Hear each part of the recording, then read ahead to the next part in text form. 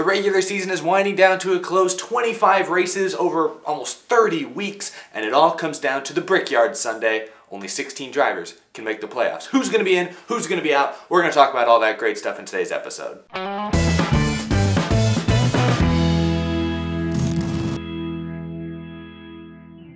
How's it going you guys? My name is Eric and welcome to Out of the Groove. Yes, we're finally out of the car and into a studio. It's still a work in progress. I still gotta work on a few things. So if there's, you know, the lighting's a little weird, I gotta add some lights. I gotta maybe add some echo reducing stuff to the walls a little bit. I don't know how the audio is gonna sound. Hopefully it sounds all right. But as far as the decor, we're making some pretty good progress. So yeah, I'm finally out of the car, hopefully for pretty much the rest of 2019. So there we go. But you guys don't want to hear me talk about all that. It's pretty boring stuff. But we're here today to talk instead about Indianapolis Motor Speedway. This has become one of the most polarizing racetracks in all of NASCAR, maybe the most polarizing. Some fans love it because it's technically a crown jewel for NASCAR, the Brickyard 400, and it's at probably the most famous racetrack in the entire freaking world, so it's great for all those reasons. But other fans don't like it because historically the racing at Indianapolis hasn't always been the best. We've had some major issues there, like what, a decade ago, the tire debacle at Indianapolis. You know, we've had some real stinkers at Indy, and the shrinking attendance at that track has definitely proven that. You know, 10 years ago, almost 250,000 people were going to this race. It rivaled the Indy 500 in terms of popularity. Nowadays, it does not. They are getting maybe a quarter of that at best. It's no secret NASCAR attendance has dipped across the board in the last 10, 15 years, but no track has been hit harder by this than Indianapolis Motor Speedway. Like I said, this track used to sell 200,000 tickets for the NASCAR race. Now it's selling a quarter of that at best, and it's insane to re see how badly things have dropped off over there. Because the Indianapolis 500 for IndyCar every year still sells out pretty much. They still get a quarter million people there at least every single year. So there's still race fans that are interested in coming to Indianapolis Motor Speedway. They're just not interested in coming there for stock cars. And that's what the last few years have really shown. So the racing hasn't been very good recently. The attendance has dropped off significantly. NASCAR doesn't know where to put it in the schedule. They keep bumping it from middle of the summer to this year it's the last race of the regular season, which I think is kind of fun, adds some drama to it. Can't find a good place for it in the schedule, so there's a lot of people asking the very honest question, should NASCAR keep racing at the famed Indianapolis Motor Speedway? Or has this whole experiment kind of run its course? It's been going for a couple decades. I want to present both sides of this argument because I think a lot of people actually have very strong opinions about this. And I think both arguments, yay or nay, in this, in this case, are very valid and I think deserve to be explored a little bit. Uh, after I talk about this, I'll talk about the actual playoff cut line. We'll look at the big names, the drivers on the cut line coming into this race, but I want to just talk about Indy as a track for a moment. So with all the negatives around Indianapolis that I've kind of talked about already, there are some positives to it. Here's a tweet from Adam Stern over at Sports Business Journal earlier this week. He says that ticket sales for the Indianapolis Brickyard 400 this weekend are looking to be about the same as last year. Indianapolis is estimating around 50,000 people will be in attendance for the Brickyard 400, which knowing that Indianapolis seats 250,000 it's to look weird when on the grandstands are only a fifth full. That's to look bad. But I want to note this important detail. Darlington Raceway this last weekend, you guys saw the fit photos, we saw the race. It was a packed house. There was not an empty seat in those grandstands. Looked beautiful, looked like NASCAR in its heyday again. But Darlington Raceway only seats 47,000. So basically, we're going to see the same crowd at Indianapolis this weekend that we saw at Darlington last weekend, as far as the size goes at least. Darlington drew about 50,000. They're saying Indy's going to draw about 50,000 people. So we all called the Darlington race a huge success because we got 50,000 people there. Why is Indianapolis considered a failure for only bringing 50,000 people in there? Is it just because they have all these more seats and it looks worse on TV? Because there's more spots in the stands and everything? I mean, obviously, yeah, that is the reason. I guess that was a rhetorical question. But a lot of people continue to bash Indianapolis. It says nobody's going there, nobody's going to that race. It's a failing race. Just, just take it off the schedule. But it's still pulling in as many, if not more, fans than Darlington did this last weekend. And Darlington's right there in South Carolina, the heart of NASCAR country. It's another crown jewel race. It's now been amplified even more with the throwback theming. I don't know. Is Indianapolis really a failure if it's still bringing in more people than Darlington? The TV ratings for Indianapolis are always good because often NBC or whoever's carrying the race each year typically tries to put it on their main network. Uh, so typically Indianapolis, the 400, has very strong ratings. I don't know why. I think people just tune in because it's Indianapolis and maybe some people thought it was the Indy 500 and tuned in thinking it was going to be Indy cars and maybe that's all it is, but still there is still more buzz around the Brickyard 400 than there is at your average NASCAR Cup Series race weekend, and I think that deserves to be noted. I know it's dropped off substantially. 10, 15 years ago, the Brickyard 400 was almost as big as the Daytona 500 in many, many ways. Obviously, it's dropped off substantially, and if it continues to drop off at the rate it has been the last few years, then sure, in a few years, yeah, we should probably get Indianapolis off the schedule, because at that point, there'll probably only be 20,000 people going to the races, and NBC won't want to put it on NBC anymore. It'll be on NBCSN. At that point, yeah, maybe Indy needs to be taken off, but people are talking about this now because with 2021 looming and a lot of people talking about major schedule changes, some people I think are hoping or thinking that NASCAR should take Indy off the schedule in 2021. I fear that might be jumping the gun just a little bit. Look, I'm not a big Indianapolis Motor Speedway fan, at least not when it comes to NASCAR. I went to Indianapolis uh, in 2007 for the Brickyard 400, and I can easily say that was my least favorite race I've gone to in person. I sat on the front stretch, and I don't like that you can only see a third of the racetrack. I like going to Texas or Bristol or, you know, the other oval tracks where you can see all the way around, or you can, there's plenty of different types of views. At Indianapolis, unless you're sitting in the corners, the most amount of the track you can see is like a third of it. So I don't like that about the Indianapolis in-person experience, and with the race being run in like July in recent years, I have no, I, I have no question why people weren't going to that race. Is Indy declining? Yes, but has it declined yet to a point where NASCAR should immediately be looking for a replacement on the schedule? No, it has not. And I know there's a lot of Indy haters out there that might be sad to hear that, might be sad to know that it's still going to draw more fans out than uh, Darlington did, but it's just the truth, unfortunately. Darling, or Indianapolis Motor Speedway is still such a historic, such a weighted name that people are going to show up. If it's got Indianapolis or the Brickyard in the name, race fans are going to tune in. At least a lot of them are. And that's just the truth of it. I don't think NASCAR should be looking to get away from Indianapolis Motor Speedway anytime soon. They got the road course there that maybe would be cool for them to run instead at some point. But Unfortunately, I don't think NASCAR has any incentive to move away from the Brickyard in the next couple years. Five, ten years down the line, maybe a completely different story, but not yet now. I think it'd be jumping the gun if they took Indianapolis off the schedule completely in 2021. I think that would be a little, a little nuts. Now next year, they are moving this race back to July, which I think some people question. Some people I think see the merit in. I think it's a hit or miss. Obviously moving back to July is going to be really hot, which is part of the reason they moved it to September in the first place, so that's a little questionable, but they are moving it to the 4th of July race weekend, which is going to be huge, I think, for that track. That's going to give them a lot of stuff to work with, and I think a lot of fans are going to be excited to celebrate you know, Independence Day at one of the most historic sporting facilities in the entire world. Uh, maybe the most historic sporting facility in America. I mean, the Indy 500 with 250, 300,000 people there is the biggest sporting event in America. So, hey, go patriotic, go crazy. But we'll see what the future for Indianapolis holds. Uh, talking about the very near future, though, we've got the final regular season race in just a few days, and there are some big, big names right there on the cut line. It's the same four or five names we've been talking about for a while now because they continue to flip flop, go back and forth. It's wild, it's crazy, but I'm going to give you guys the lowdown going into the Brickyard 400. Who to watch for, who is tra tra tracking good, who's tracking bad.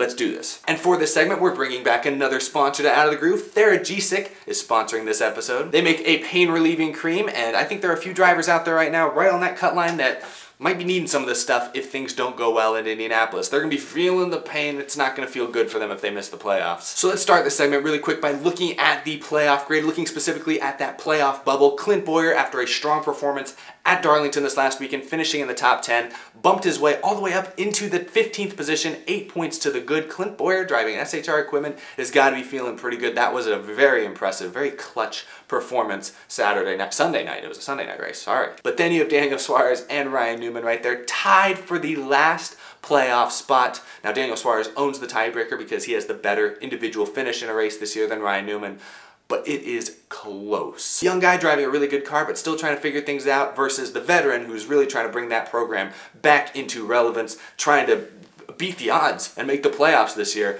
Uh, it's a great story for both those guys right there. That's going to be a really interesting one to watch. But then below them, Jimmie Johnson, despite a really strong first half of the race at Darlington, collecting a lot of stage points, Jimmie was caught up in a wreck. That was not his fault, and that forced him to sacrifice some significant points. He had the potential, uh, the potential of being just a few points out of the playoffs coming into Indianapolis. Instead, he is still 18 points back. So really heartbreaking to see for Jimmie Johnson, seven-time champion. Uh, but he's still not out of it. He is not out of it. He has won the Brickyard 400 a few times, so he is not out of it by any means. Let's start with Clint Bowyer here. Clint Bowyer had a very good run at Darlington, which I hoped he would have. He's a veteran driver, and that's a track that's very challenging. Typically favors veterans, uh, but that get, puts him in a very good spot. I think he's got to be feeling pretty good. Not great, but pretty good about where he's at right now. Now, Indianapolis is not as much of a driver track. It's more, you're more reliant on your equipment, but he's got pretty good equipment as well. He's driving for Stewart-Haas Racing, one of the powerhouse teams in the sport.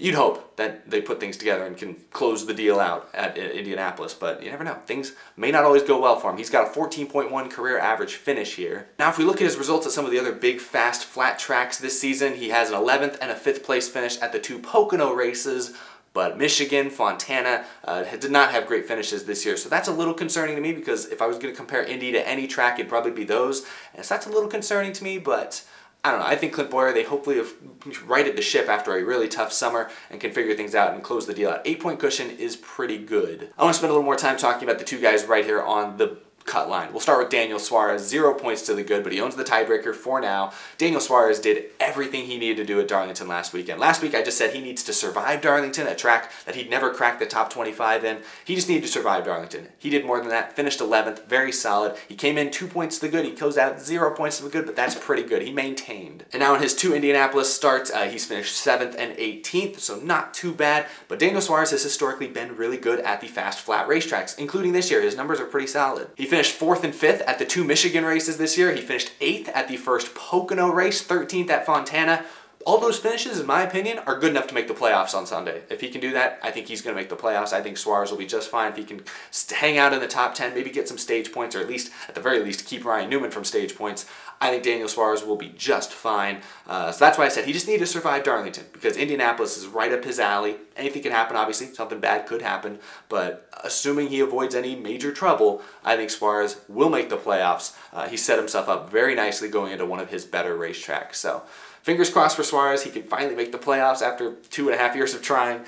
But we'll see. We'll have to wait and see. Not going to jump the gun. I, I don't trust Daniel Suarez fully yet, but he has put himself in a good spot. Let's talk about Ryan Newman. Zero points behind Daniel Suarez, so it's it's a toss-up, really. Now, last year at Indianapolis, Ryan Newman actually finished 10th, and he was driving for RCR. At the time, RCR was not very good, so that is significant. I think RCR last year is similar to Roush this year, so if you finished 10th last year, Maybe he can get another top 10 in Roush equipment this year, so that's a reason to be optimistic for Newman. The problem is I don't see Ryan Newman collecting many stage points. That's not really been his MO this year. He just stays out of trouble and finishes 13th, and that's good enough for him. In this race, though, if Suarez is up in the top five getting stage points, if Bowyer's up there getting stage points, Newman's going to have to get up there and get stage points as well. And I just don't think he's the guy to do that. He's more of a wait until the end and get there when it matters most. And that worked back in the day, but with stage points rewarding consistency throughout a race, doesn't quite fit Newman, especially not that six car quite as well. Now Newman did win uh, at the Brickyard 400 in 2013, so he has had good success at this track in the past. So keep an eye on him. He's a veteran. He knows what he's doing.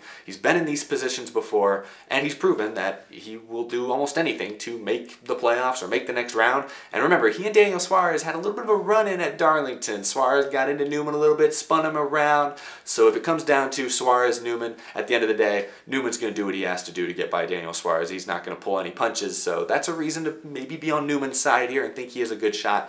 I just don't think that six car is really fast enough to contend with the 41, uh, but we'll have to wait and see. We'll have to wait and see. Let's move on now to the fourth guy on this playoff grid, Jimmie Johnson. Jimmie put up a valiant effort at Darlington, but he's probably going to need some of this after Indianapolis because it's going to be, it's going to hurt. It's going to be painful when he does not make the playoffs for the first time in his illustrious career. It's going to hurt for me as a fan, as a guy who grew up his whole life watching Jimmie Johnson dominate Sunday after Sunday after Sunday. It's going to hurt not seeing that 48 car in the playoffs, but unless a miracle happens, unless they somehow win, which Hendrick cars have pulled off upsets at Indianapolis in recent years, Kasey Kahne in 2017 pulled off an upset, Unless something like that happens again here, I don't think Jimmie Johnson's going to make the playoffs. I don't think he's going to point his way in unless a huge wreck happens on lap one that takes out Bowyer and Newman and Suarez. It's not happening for Jimmie Johnson. I just don't see it in the cards. I thought Darlington was the turnaround race. He ran in the top five the first half of the race, collected a bunch of important stage points, but then the 2019 Jimmie Johnson caught up, caught up with him, and he was caught up in that big wreck with Hemric and Hamlin and others, and it's just not going on. It's not going well for Jimmie this year. And it hasn't all been him. It's been somewhat the car, the crew chief change, and turmoil and everything. It's been a little bit Jimmie. It's been bad luck as well. It's just sometimes you just have years like this. And it's been Jimmie's, it's been a bad year for Jimmie Johnson. And unless his luck shockingly turns around overnight, it's not happening. He's not making the playoffs. He's a four-time Brickyard 400 winner, though, so don't count him out entirely. Uh, he hasn't won, though, since 2012, so it's been a while. He has not won at, at Indianapolis in the Gen 6 era, so keep that in mind. And if you look at his finishes at the other big, fast, flat tracks this year, he's not running in the top 10. He's finishing 15th, 18th at Michigan, at Pocono. So I just, I don't think the cars are going to be ready for him this week. I don't think he's really ready for it this week, and he's just too far back. If he was three points out, maybe. I'd give him a good shot. But 18, pretty much must win, and I don't know, that's a lot of pressure to put on a guy that hasn't really been able to sniff the lead for two years. Maybe that's harsh, I know. I just, you know, have high expectations for Jimmie Johnson, seven-time champion. But they seem to be getting along with Cliff Daniels, his new crew chief, so maybe 2020, which could be Jimmie Johnson's final season in NASCAR, maybe that's just going to go out and be a glorious send-off. Maybe they figure it out and you know, 2020. It's never too early to look ahead to 2020. Gosh, that sounds super condescending. He could still make the playoffs. He could still make the playoffs. I just don't think it's happening. I think he needs to focus his energy on next year because this year I think it's going to be a wash. But again, these are just my opinions. We're not going to know what actually happens until Sunday evening, Sunday afternoon. So uh, anyway, thank you to Thera-Gesic for sponsoring this episode. I've been doing a lot of traveling lately, you know, walking around Bristol. If you're going to a racetrack sometime soon, there's a lot of walking. It's often hot. You might need to relieve some of that pain in your joints or in your muscles. This stuff is perfect for you. Thera-Gesic, huge, awesome shout out to them for sponsoring Out of the Groove and sponsoring this segment. Stop the pain before it stops you. That is their slogan. You can find this at a ton of retail groceries and pharmacies. Walmart, Food City, HEB, Brookshire, all these types of places. You can even find it on Amazon.com. Order yourself a, a sample here. Really awesome of them for coming on, sponsoring out of the Groove, supporting NASCAR, supporting the show. Huge shout out to them, guys. Thera-Gesic. Thank you guys so much for watching this episode. I hope you enjoyed. Remember, you can follow me on Twitter. You can follow me on Instagram, all that great stuff. Continue the racing conversation over there. And of course, a big thank you to my Patreon supporters. Michael Harrison at Geos the Stars, Cameron James, John Koblenz, Jason Arlong, Wesley Donaldson, Isaac Dennison, Mika Suzuki, iFantasyRace.com, TheRacingInsiders.com, Peppy Luscious, Matthew Koulopoulos, Jeremy Conkling, Joey DiMicino, Emilio Garcia, Sky Racing Forum, Bryce Schumacher, Bryce Starcher, Scott McNew, and the rest of these amazing Patreon supporters. I couldn't do this without you guys. It's because of your support that I'm able to afford an office like this, a studio space uh, where I can continue to record this show and make hopefully each episode bigger and better than the last. Good things are coming. It's going to be an exciting end to 2019 and it wouldn't be possible without the support I get from all of you on Patreon. So thank you, thank you, thank you. Should have at least one more episode up this week before the Indianapolis race this weekend, so keep an eye out for that. There's a lot of news we have to catch up on from the last few days that I want to discuss, so gonna be some exciting things. Thank you guys for watching. Hope you enjoyed. I'll see you again very, very soon. Bye-bye, everyone.